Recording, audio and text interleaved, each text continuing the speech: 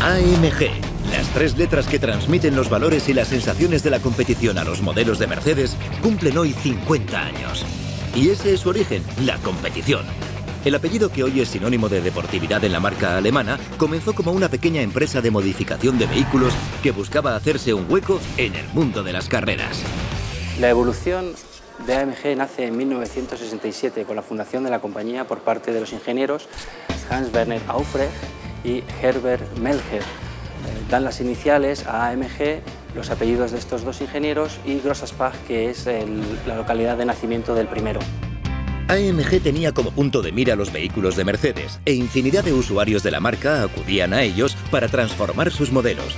Pero donde se ganó el respeto y las miradas de la fábrica de la estrella fue en las 24 horas de Spa. Tienen un gran éxito que les da a conocer en el mundo entero con la victoria ah, eh, en su categoría del AMG 300 Shell 6.8 en 1971. Este vehículo además queda segundo en la categoría absoluta en esa competición. Una victoria a la que se sumaban mecánicas tan sorprendentes como el V8 de 370 caballos equipado en el 300E. Hechos que hicieron posible que Mercedes depositara su confianza en AMG para volver a las carreras. La unión hizo la fuerza y el equipo acumuló más de 50 victorias en el DTM y un campeonato del mundo en 1992. Una relación que la marca alemana supo transmitir a sus vehículos de calle. El C36 AMG fue el primer proyecto nacido de la colaboración firmada unos años atrás entre AMG y, Daimler.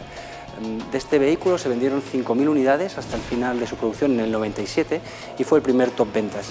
Finalmente, en 2005, eh, Daimler Chrysler se hace con el 100% de la compañía, siendo a partir de entonces AMG una compañía eh, filial del grupo. Los modelos AMG equipan un motor firmado por el ingeniero que ha sido responsable del ensamblaje de ese motor desde el principio de la cadena hasta el final. Desde aquella unión, el distintivo AMG ha sacado al mercado modelos como el SL55 de 476 caballos, el espectacular SLS de alas de gaviota o la actual imponente gama denominada GT. Potencia en estado puro que hoy se incorpora a casi toda la gama de Mercedes, creando vehículos únicos.